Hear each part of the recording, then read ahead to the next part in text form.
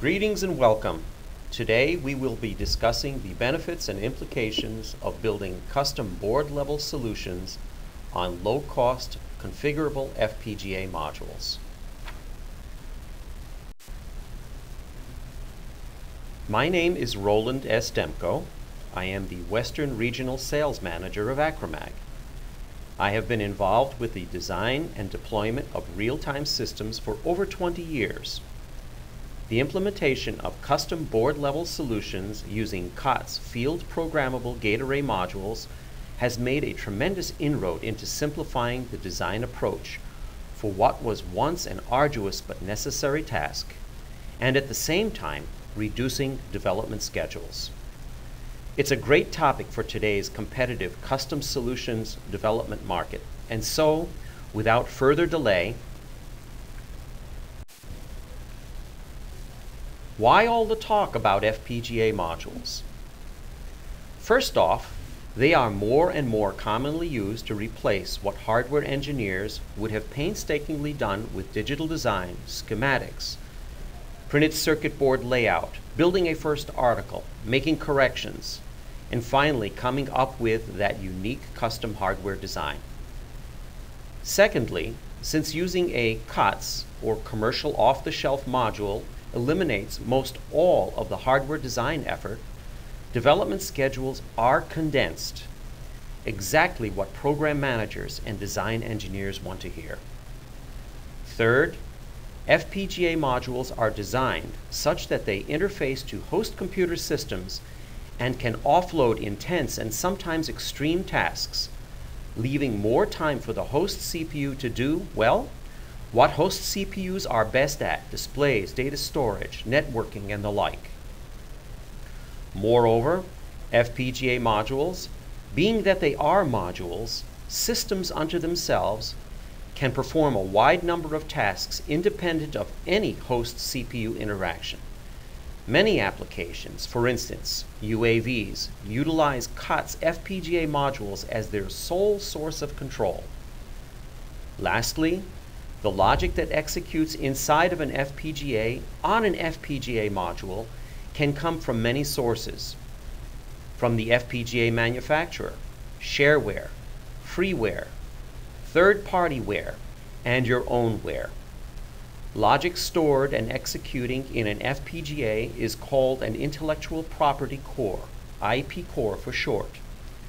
They can perform any function from data capture, a la UART, to data storage, to protocol conversion, to signal sampling, for an A to D conversion, for instance, to high-speed interface logic, to motion control, and on and on.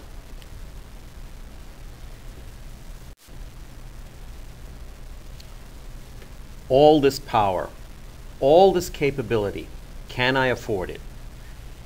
FPGA modules are perhaps more complex than the traditional digital design since they are a system comprised of processing power, data storage, interfaces to onboard devices and to the external world via I.O. and bus architectures, and protocols as are suited to host CPUs.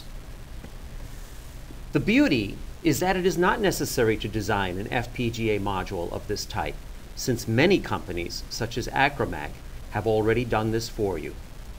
In fact, you will find that FPGA modules are available in many familiar architecture and bus protocol architectures to meet deployment-ready applications in VME, Compact PCI, PCI, and Industry Pack.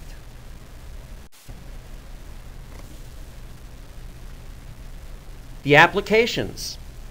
Are FPGAs right for less aggressive applications? Don't FPGA modules just cost too much? No longer are FPGA modules just for the high-end applications such as software-defined radios and high-speed, high-volume data reduction as might be found in radar and video image processing systems. A wide range of FPGA modules has been produced to make available the right amount of compute power at a reasonable price point. Let's take a look at the criteria by which we might categorize our FPGA module requirements.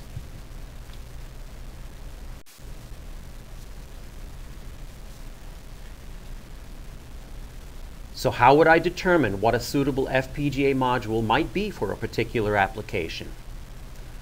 First, let's look at complexity.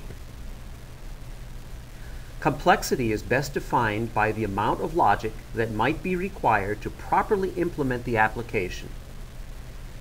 Here we can see that we might choose an Altera Cyclone for the more simple application, and at the very high end, the Virtex 4 or Virtex 5 might be the more appropriate computational vehicle. Next, speed. FPGAs execute logic at different rates of speed. For less demanding applications, the Altera Cyclone or Xilinx Spartan may be the appropriate choice. As application speed becomes more critical, our selection would move to a Virtex 4 FPGA at 500 MHz or even a Virtex 5 FPGA at 5